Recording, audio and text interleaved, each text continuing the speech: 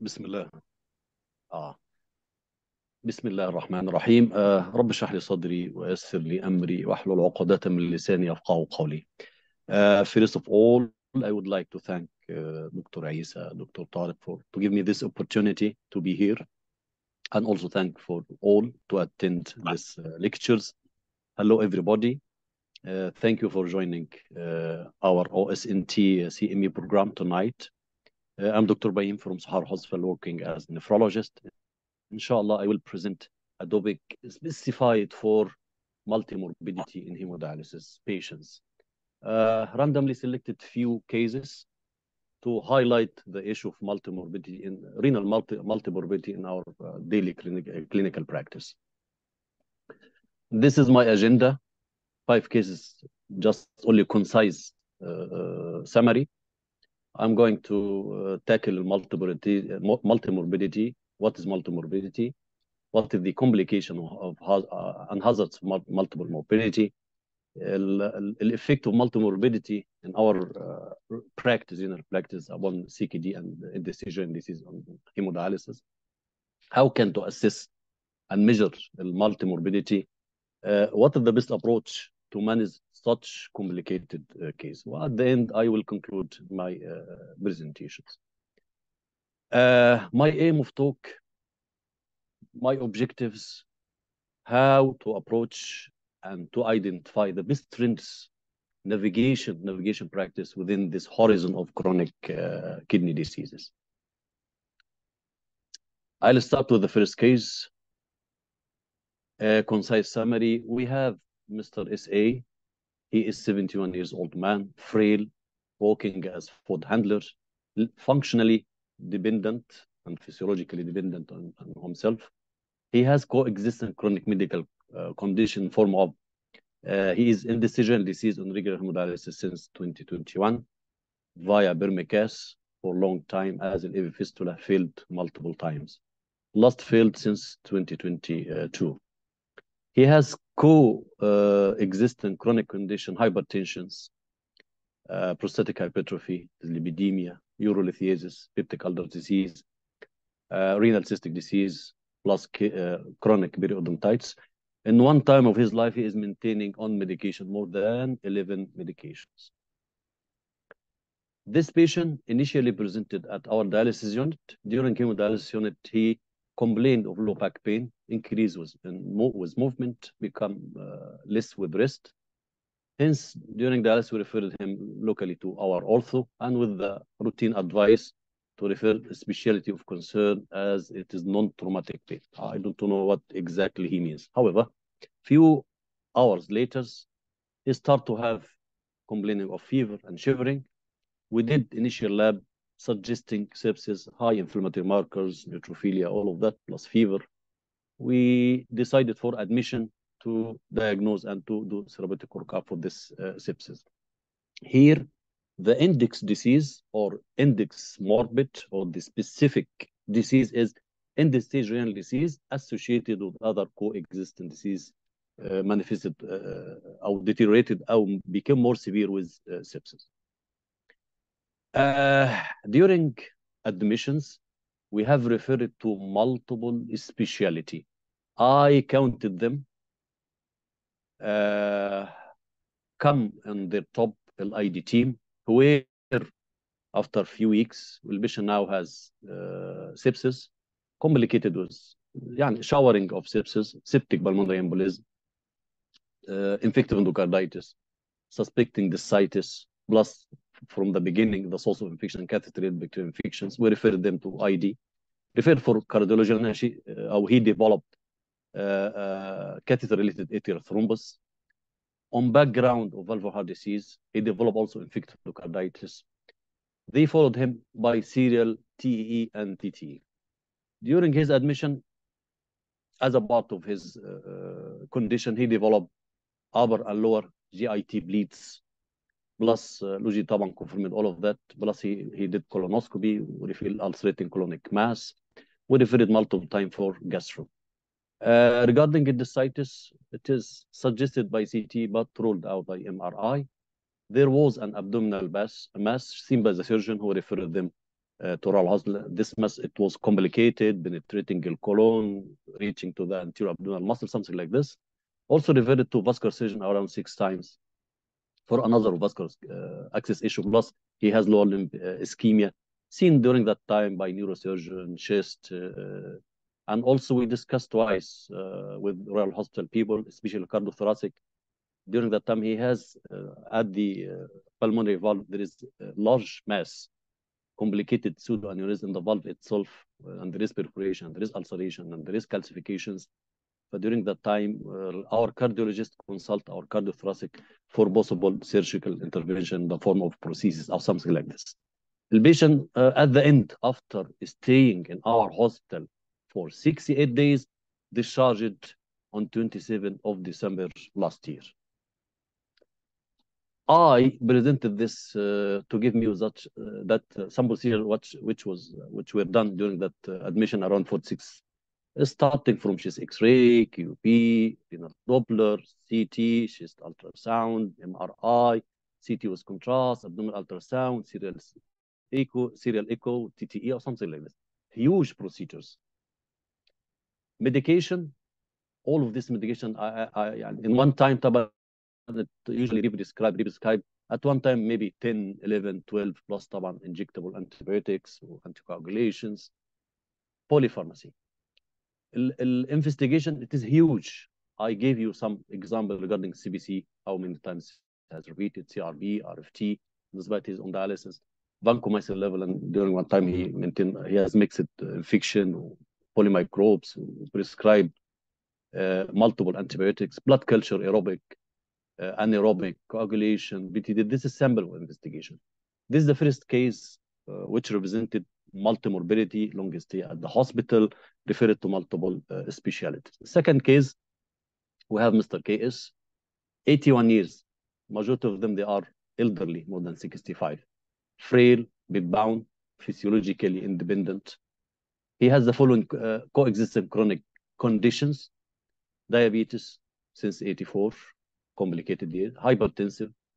He is uh, stage 4 in regular follow-up at our clinic. He has coronary, uh, coronary arterial disease. He did PCI, ICM. He has ICD. He has uh, uh, um, ventricular systolic dysfunction, 35% ejection fraction. He has prostate, dyslipidemic, uh, uh, non-cardiorenal syndrome type 2. This patient was roaming, visiting multiple health institute, what, what each institute, a lot of diagnosis, a lot of investigation, a lot of medication. It is roaming, roaming patients. In one time of his life, he's maintaining more than 10 medications. We, if you check his uh, history, uh, his progress, uh, his history of admission, he has a frequent hospital OBD's visits and he visits plus high uh, rate of free admissions. Initially presented at OBD, admitted from OBD, as scheduled, he has a complaint of cough, vomiting, peripheral swelling, associated with acute on top of chronic uh, kidney diseases. We has also recurrent acute kidney injury. Hence, we admitted him for diagnostic and therapeutic workup for AKI on top of CKD. Initially started in, he was he has a state of hypervolemia, pulmonary congestions. Uh, we started medical diuresis for at least 72 hours, uh, plus treatment with TI, correction of anemia, all of that in order to improve this uh, uh, overhydration status, but not responding to this medical treatment. Uh, finally, we decided to uh, proceed for dialysis, hemofiltration. Well, patient is still admitted till today. فالاندكس disease here, well, reference disease here is second stage 4 associated with uh, comorbids, especially decompensated congestive heart failure. Uh, during admission, طبعا, as usual, he is followed by different specialty according to the uh, referral uh, system. A third case, the same. This is a woman, 80 years old, frail, bound, cachectic. She has also uh, known multiple chronic medical condition, dialysis patient in Shinas. She is also diabetic, hypertensive, chronic osteoarthritis. She did total knee replacement. With the same situation, she is roaming around different institute according to the level of uh, health care. Uh, and one time she maintained on medication more than 13 with the same also the same situation. She's frequently attending OBDs, A&E visits, uh, readmission, something like this. Presented here at A&E, escorted from Shinas for diagnostic and therapeutic workup for sepsis. Will professional diagnose during the time catheter-related bacterial uh, stream infections. She, has, she gave a history of multiple access failure, difficult vascular access. On admission, طبعا we have done a lot of diagnostic workup. Reaching finally to uh, professional diagnosis catheter bacterial uh, stream infection and thrombosis. She has hemodialysis access issue, referred to vascular surgeon, uh, diagnosed have big catheter atrial thrombus plus compression collapse of D12, abdominal mass the same. It was uh, according to CT angio, either inflammation or infective. She has chronic maxillary sinusitis. Where she, during hospitalization, she developed multiple times of iatrogenic regional thrombophlebitis post cannulations. Uh, during her admission, we have referred to the concerned specialities according to what is written. Uh, which she was discharged uh, on October last year. We hear the length of stay 101 days. The index morbidity here, the active issue is here, indecision disease complicated with the other uh, comorbids. Uh, fourth case, woman, slightly young, comparing to the others, 51 years old, wheelchair, morbidly obese. What she has as associated chronic uh, conditions, she's diabetic, complicated with diabetic foot, hypertensive, dyslipidemic, old CVA. She has history of right breast cancer, nominating invasive ductal adenocarcinoma with metastasis, which she was under close follow-up with oncologist at Royal Hospital, which she received all palliative treatment before palliative surgery, hormonal, adjunctive chemo, and radiotherapy, where she started dialysis since 2022 August. With the same situation, she is roaming among uh, different healthy institutes. With the same situation, she is frequently attending OBDs, and visits, readmission in various departments. Uh, she was presented in July last year, uh, fatigue, fever, hemoptysis, admitted for diagnostic. Initial workup, طبعا she has catheters, she has difficult uh, access, multiple access failure. In a patient present to the ANA with fever, rigors, we, they are putting uh, the initial uh, diagnosis, catheter bacterial uh, stream infection until proved otherwise. The patient admitted as usual. After being admitted, after being evaluated extensively, comprehensively, she has big crat. Plus, uh, catheter, uh, she had catheterized thrombosis and catheterized bacterial infection, uh, UTI, uh, infected foot gangrene, infected endocarditis, pyrexia of unknown origin, mixed. The culture showing mixed organism, CRE, VRE, fungal, وطبعا she has psychiatric issue, aphasia, or depressions. We're seen by all of these specialities. Uh, index disease is two, uh, two index diseases, indecision disease and metastatic cancer presence associated with other comorbidities. Uh, as I mentioned, she has MRSA, Enterococcus, VRE, Candida, Klebsiella, who maintained at one time more than 14 medications. She received I don't know, maybe majority of antibiotics that we have at our hospital, IV colistin, Robinam, Vang, Genta, antifungal, cefuroxime, linezolid, and and something. I, I cannot enumerate all of them.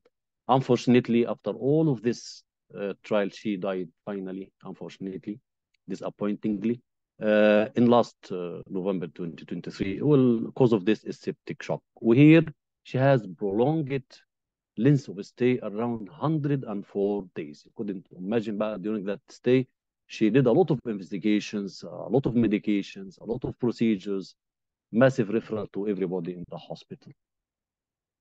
Uh, last case, in order to show what is the uh, effect of multiple morbidity in our daily practice, this Mr. SO, the same situation, 81 years old, the same frail, bound, cachectic, dementic, the same situation, frequently attending OBDs, A&E, uh, high, high, high level readmissions.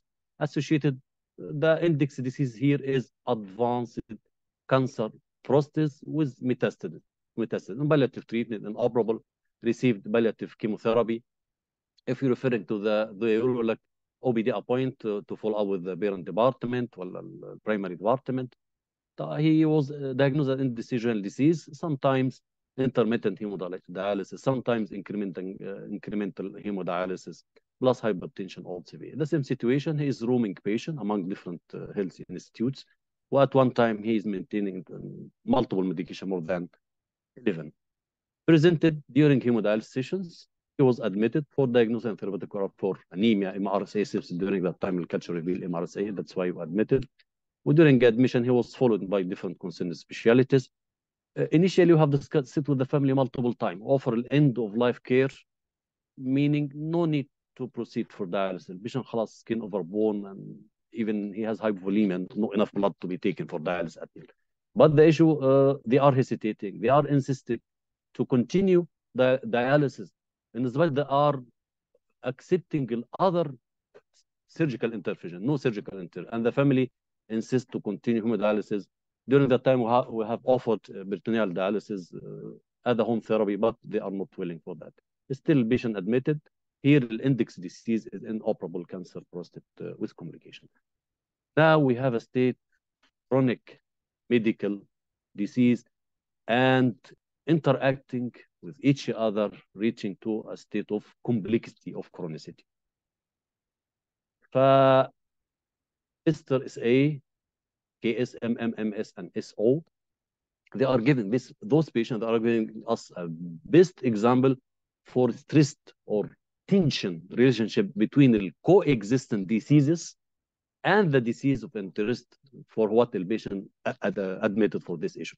There is some interaction between both of them, leading to what? Late diagnosis. Just as a nephrologist, we are interested in managing our disease of interest. But the issue, if the other disease becomes, after being silent, becomes activated. So we need the help from the others. This helps could be delayed, uh, leading to late diagnosis, especially if the patient uh, of the disease becomes more severe, late diagnosis, with difficulty also in treatment, more drugs, uh, surgical intervention or not, which may cause a high degree of disease severity and uh, ultimately prolonged hospital stay. So this is the interaction between our uh, complexity between chronicity and the comorbid condition. Uh, our routine modern uh, medicine, we are still larger, largely focused on single disease or organ pathology. We have a specific guidelines. We have to, to uh, predict the outcome. We have a list of uh, our chart for diagnosis, for medication, all of that it is clear as a single disease. But unfortunately, when we are doing with such complexity, still we are depending on breaking down into pieces. We are managing, this individual into pieces, separately analyzing each components. We are not managing as a whole. Uh, as I said, chronicity and complexity it is a dynamic interaction between the patient intrinsic factors mainly uh, multimorbidity comes uh, on top, plus age, gender, frailty, as well as associated cofactors, socioeconomic, behavioral, cultural, environmental. Multimorbidity, it is a hallmark of clinical complexity. That's why we should be aware of all of that in order to put uh, a plan for management. Multimorbidity, in order to define, we have a variability of, this, of, definition. What is multimorbidity? Uh, just, uh, I will show only three most common definition. The first definition of multimorbidity, uh, it comes through WHO. They said it is coexistence of two or more chronic condition, each of which either non-communicable disease of long duration, like diabetes, hypertension, CKD, all of that, plus mental disorders, schizophrenia, dementia, or uh, uh, chronic infection, TB, HIV, something like this. This is the definition of WHO. NICE guidelines, uh, nice uh, society, sorry, uh, define the multimorbidity equal to this presence of two or more long term. this long term. Here, they define the physical mental conditions uh, including also ongoing condition like learning disability. They have added frailty or chronic pain. They have added if the patient has defective vision or hearing loss. Plus, they added also presence of chronic alcoholism or substance uh, misuse. In European uh, general practice research work, uh, very simple, a combination of chronic disease with at least one uh, other disease, either acute or chronic. It could be or biopsychosocial factors plus somatic risk, like somatic any congenital uh, anomalies. Uh, there is two expression what about the multimorbidity or comorbidity, what the difference between of them. And all they they are the they are very similar in, in, in definition, but nowadays they, they they made some differentiation between of them.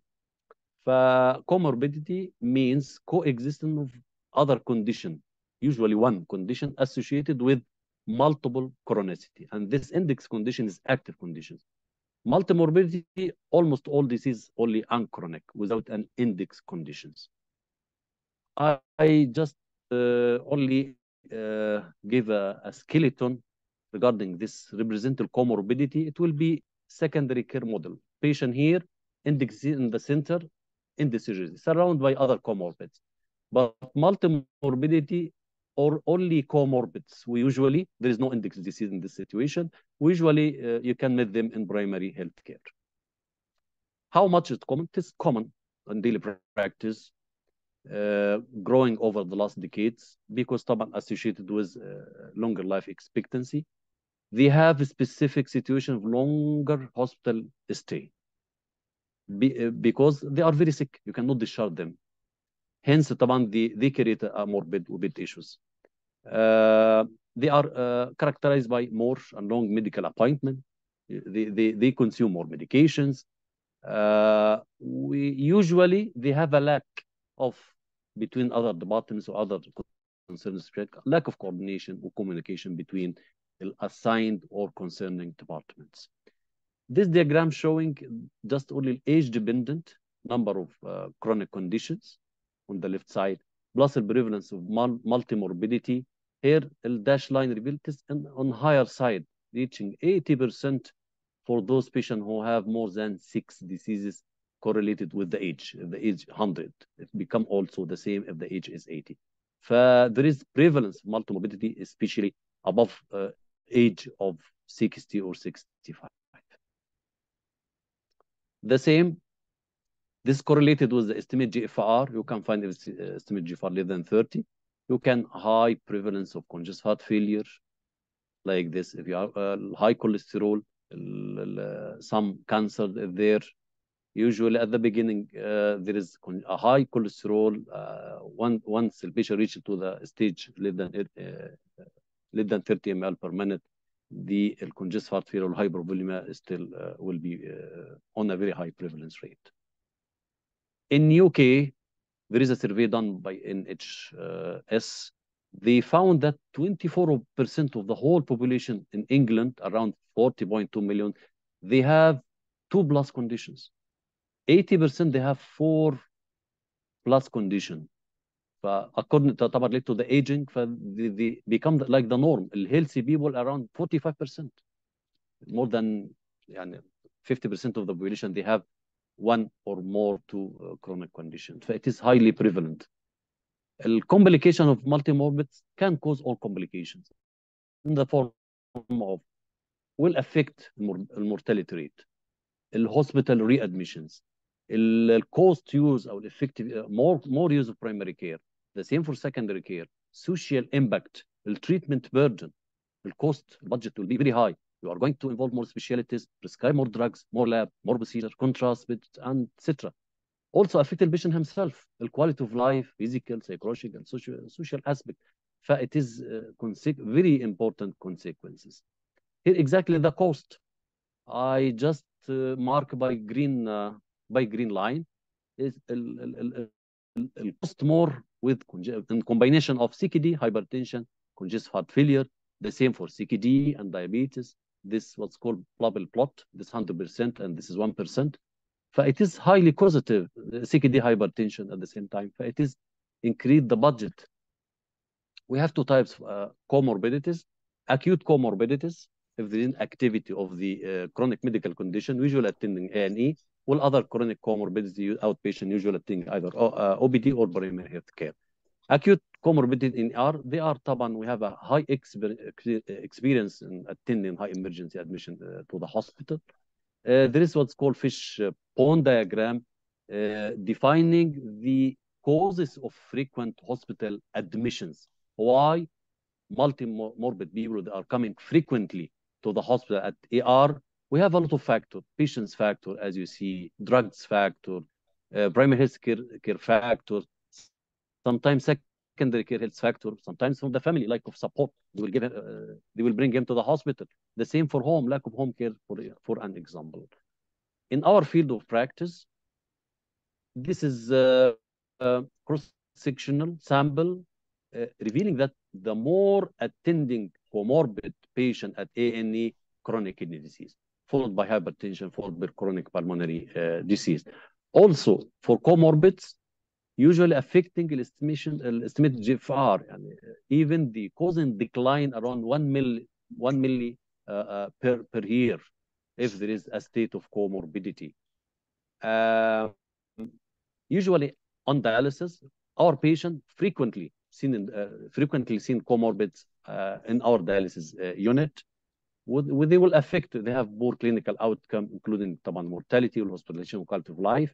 Usually they have short life span or, or short and yearly life survival, our survival rate becomes more. And at first year, maybe 80%. They will decline by 10% each year. Maybe by the end of five, six years, you can find only 50 to six patients that are continuing dialysis with. Other طبعا uh, died, or I don't know what will happen to them. Um, there is a risk increase. Uh, uh, I'm speaking about the inpatient. I have speaking about the dialysis patient now, the dialysis inpatient. even in hospital inpatient our mortality rate is high in our hospital. This scheme representing a monthly percent of the dead people admitted under our care. Around and in january last year 7 7% of our admitted patients they died sometimes 2% sometimes 6 this is uh, very high uh, mortality rate regarding our inpatients also uh, the affected percentage of unplanned uh, readmission Like in, in uh, last uh, in our hospital, this is prepared by our quality department. In March, April, May, there's unplanned readmission 8.6%, 9. طبعا during that from April to May, there is Ramadan and Eid holidays or something like this. they are preferring to be admitted after a few days they are asked for discharge and coming back something like this also defaulters at OPD are very high one of the causes of defaulters related to our patient and OBD is multimorbidity. This diagram showing this, yeah, and starting from January last year at Sohar Hospital at our OBD till October, at least 20% of the patients they are not coming to the uh, our dialysis. They are defaulters because of we have a lot of factors. I analyzed this uh, diagram uh, by this. This is the main cause of uh, defaulters. Come of this is multi morbidity. Multi morbidity are coming asking to be in one clinic, or sometimes they cannot come. they need to come one day to be with cardio, to be with uro, to be with just something like this. So usually they, I have high, percentage of defaulters secondary to multi-morbidity. Illama, the same situation. Multi-morbidity is one of cause of high LAMA in our hospital. This is diagram showing also around very high rate, especially at the beginning of year of the last, uh, at the beginning of year of last year, 39% of admitted patients went clamor. Uh, we, we have analyzed all of this. We have a different causes, but one of them is multi-morbidity. You have admitted patient for index disease renal. After sometimes it is recovered, but develop other uh, activity of other associated comorbid. You need to help from the others. Patient will not uh, uh, tolerate to stay long and long. He asked uh, for LAMA. Uh, how to assess this clinical complexity? usually uh, there is no validated assessment tool. I checked uh, through my research this topic. I found at least 50 validated assessment uh, tool, uh, but majority of them, they are non-validated, but almost three common to assess clinical complexity. I found them, it is uh, modified Charlson Morbid Index, and this is present in mdcalc.com. You can use it uh, to assess, to, yeah, to, to predict the mortality of the patients. Uh, this is the most common used uh, method. Account it, it is simple and reliable. Uh, also, another uh, index coexistent disease, another uh, assessment tool, and Davies score. This is looks like you can get it from the mdcalc.com, and, and you can fill the data. Will give you exactly the uh, prediction of mortality. The same for index coexistent diseases, the same for Davies score. Uh, how to manage this dilemma? We have explained exactly the current situation of these multimorbids, but what, what is the best approach? how can we tackle this issue or how can we uh, improve the quality of service regarding those type of patients. Uh, other facts, chronic disease management. As a fact, any chronic disease management, whatever it is preventive or curative, it is often complex. Exactly like diabetes. You have a diabetes, but it's a chronic uh, associated with secondary complication. But there is a complexity even with one single disease. You couldn't imagine if you have uh, multiple chronic diseases. When several diseases exist, it's, uh, it becomes more complex. Uh, even if you are going to take a, a usual trend or trend of uh, usual diagnosis, in history or physical examination, illustrative man, it is even uh, likely not be successful. And it is very complicated uh, issue. It is not a single disease in order to apply all of these uh, upon this. Uh, we have limitation of ma uh, management, as I said. Uh, evidence-based approach, as we know, all of us, work best in individual conditions. And evidence-based, you have a good uh, grade and good strength of the evidence, you can apply. But in case of multiple chronic condition within the individual it will be very difficult. Because of what? The multimorbid patient may be largely excluded from any trials.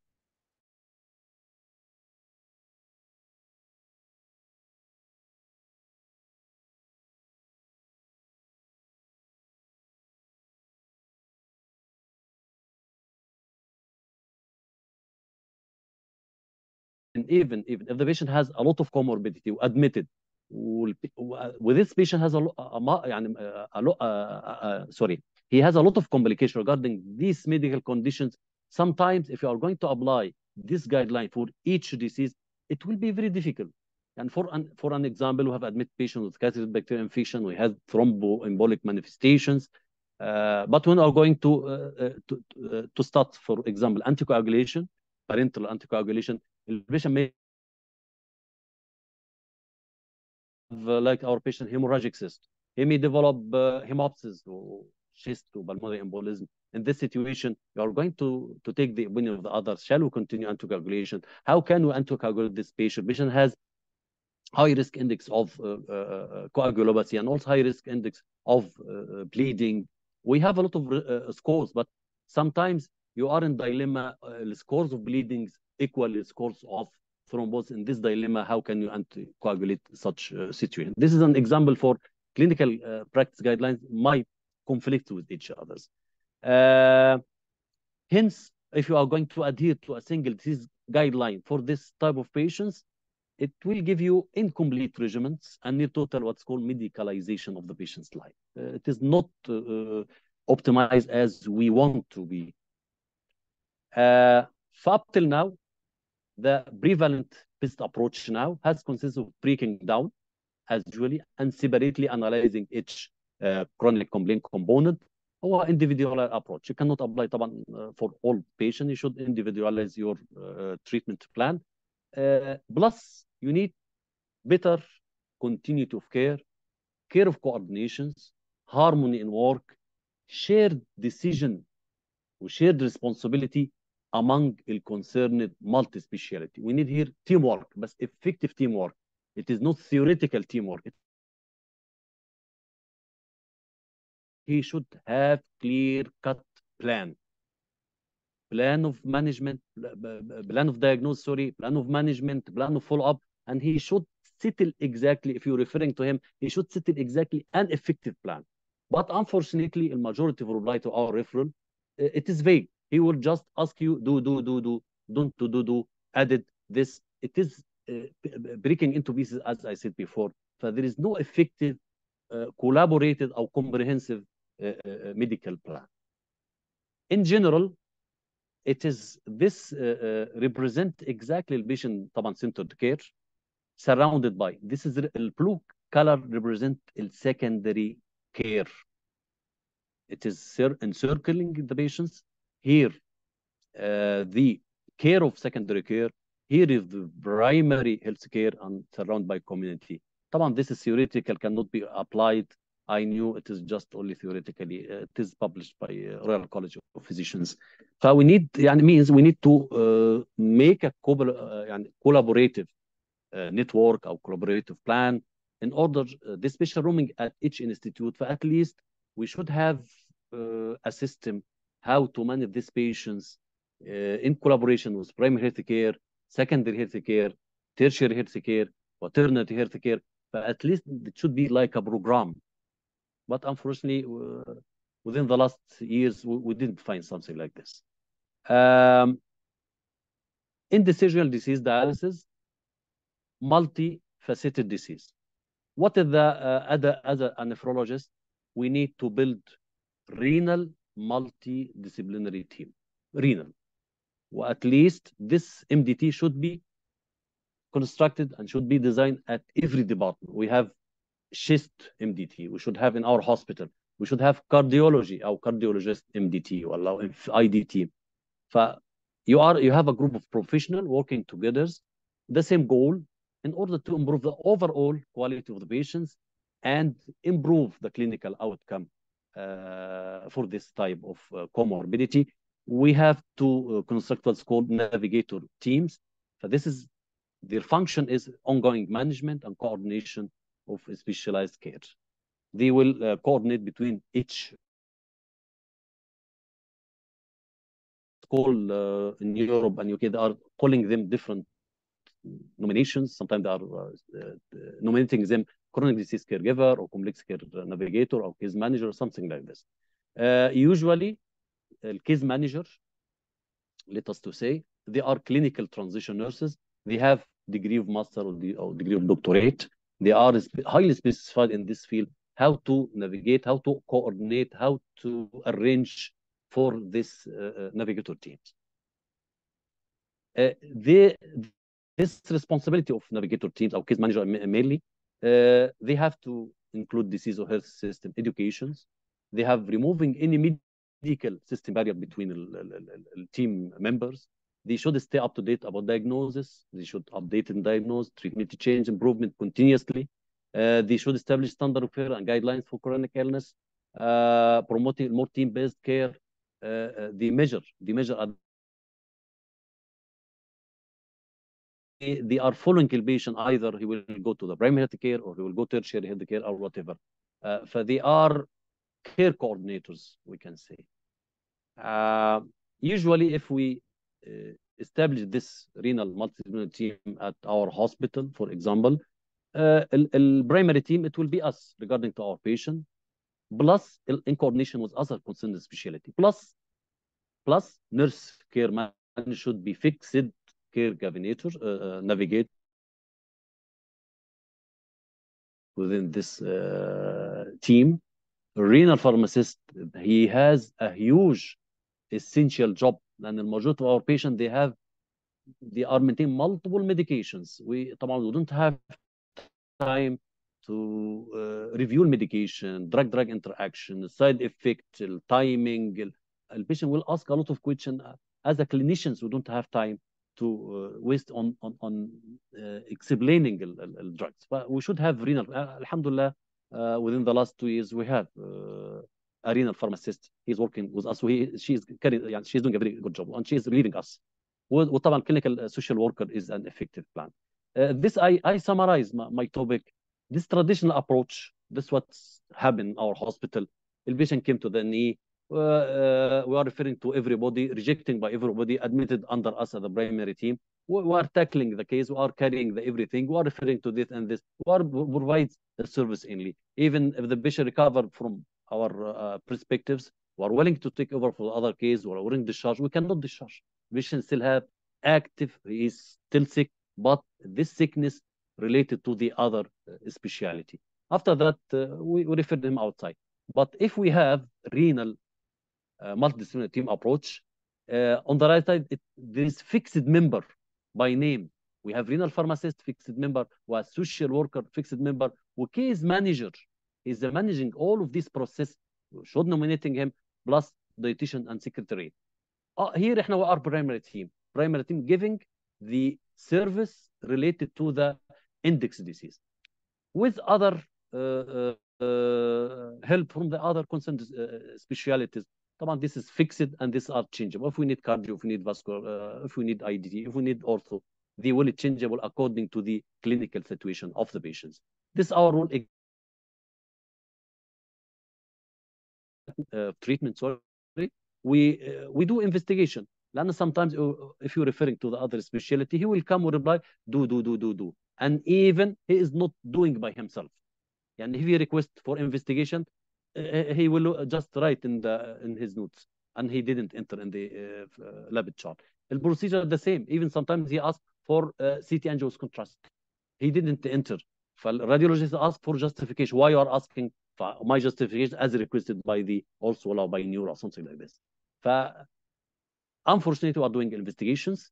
We monitoring with checking supervising. If it is released we are going to refer to him again according to his request after that we, we, we implemented this uh, service on the patient this is exactly our function as uh, primary uh, team uh, finally, just I announce uh, about our first uh, OSNT Gulf Cancer Disease Conference. It is very important and the the, the time of event nowadays regarding to enhance service of peritoneal disease at, at Oman, inshallah. We hope from everybody to attend this conference, inshallah. And thank you very much. Do you have any questions? Walhamdulillah Rabbil Alameen.